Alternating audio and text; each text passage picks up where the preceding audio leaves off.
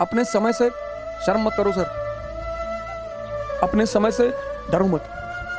लड़ते रहो। हाँ, हंस हंस कर रोगे तो हर दिन तुम्हें एक बहाना मिलेगा रोने का।